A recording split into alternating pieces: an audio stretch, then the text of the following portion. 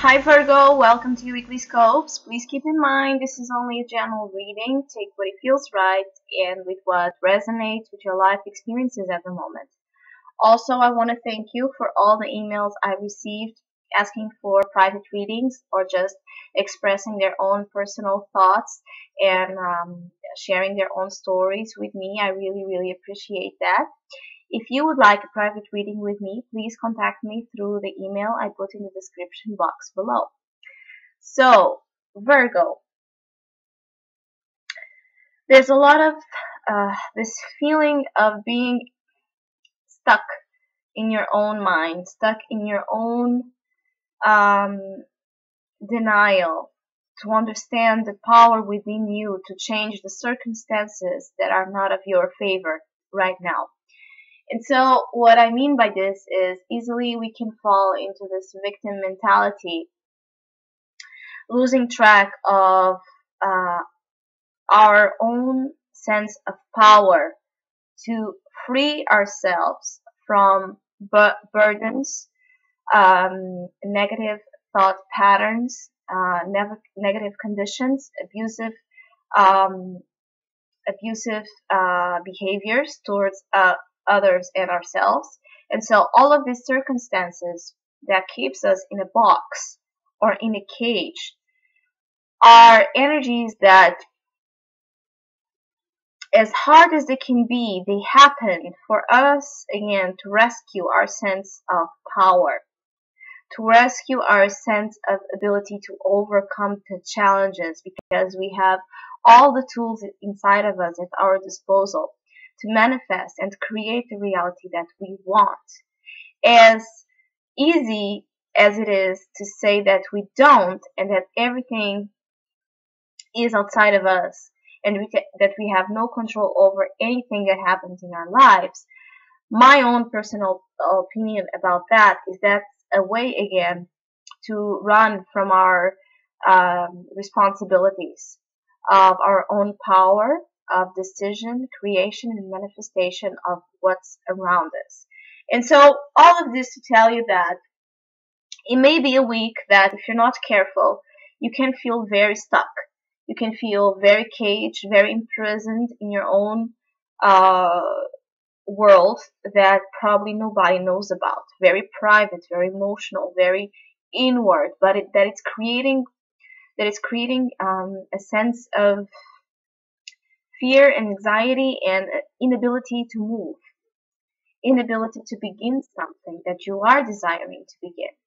And so the main opportunity for you this week is the Eight of Swords. As you can see, she's blindfolded and she feels that she's stuck on there uh, on the situation on this on the circumstance forever and that she has no way out but actually she does once she realizes that she's just blindfolded and she can take that blindfold anytime that she wants when she starts promoting the change of their own thought patterns, telling her that, telling her, listening to those voices telling her that she has no ability to uh, free herself or overcome the challenges.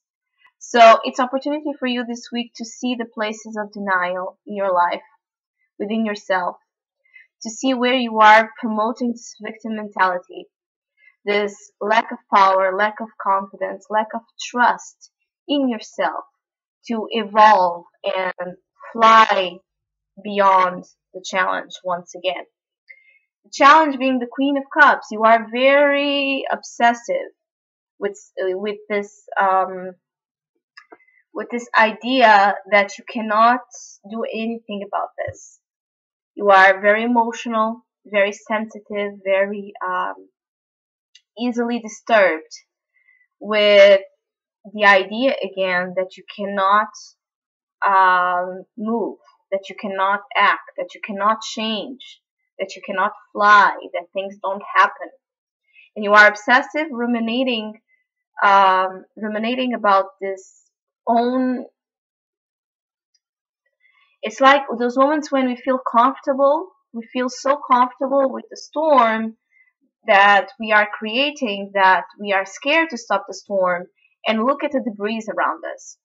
And so this is a little bit of how you may um, be feeling if you're not careful to understand again that this is uh, something you are promoting by not shifting your perception and understanding that you have a lot of power within you to begin other other things to um, to implement changes in your life that are much more suitable to what you are desiring to accomplish. Also, this can be related with you really being focused on one thing when you should understand that at this time of your life you have a lot, a lot of possibilities. And even if that one thing that you are obsessing over, it's not happening, it's not being manifested, it doesn't mean that you don't have much other choices with the magician as an advice. You clearly do.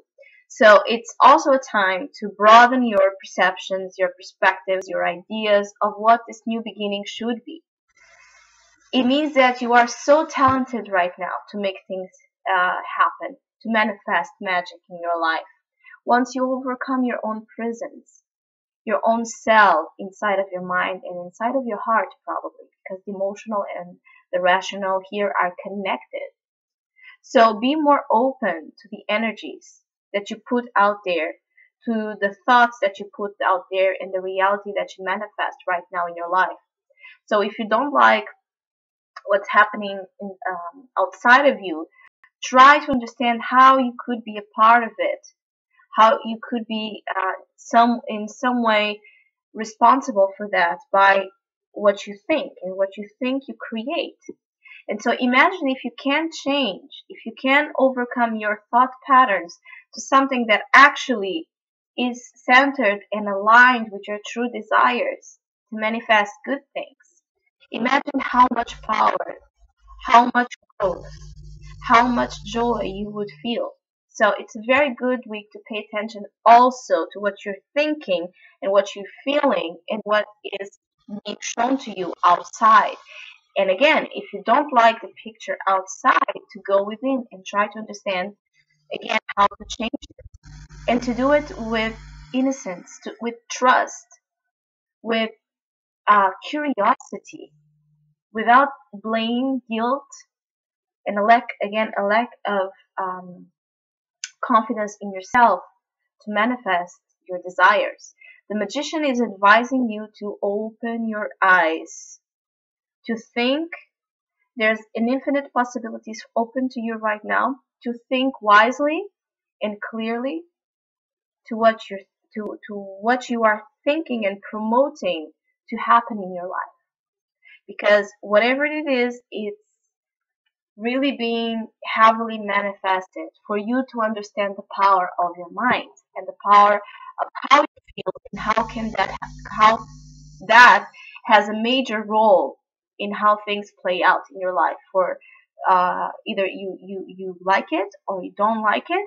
It's always up to you to understand this power to make things happen, even, even in the middle of challenges and in the middle of hard situations that we all go through life. It's especially on those moments that we should be able to understand the, those moments when we realize we are listening to those voices is the moment we are being honest with ourselves to understand that those are voices that are not real. We are allowing them to come to us and then creating and manifesting the situations we don't like. So if we can do this, we can do exactly the opposite way. Again, everything is just about perception and choice. So Virgo, I wish you a great week. Thank you for listening, liking, and subscribing and hopefully we'll see each other next one.